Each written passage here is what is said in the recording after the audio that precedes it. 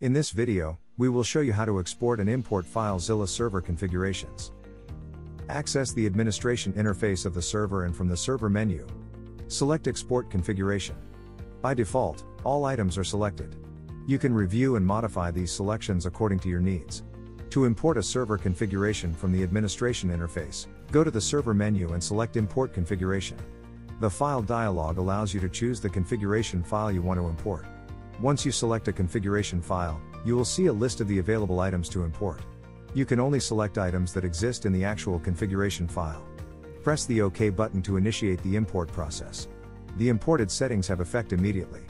The administration interface will report the results of the import in the log, which you can review in the most recent log entry.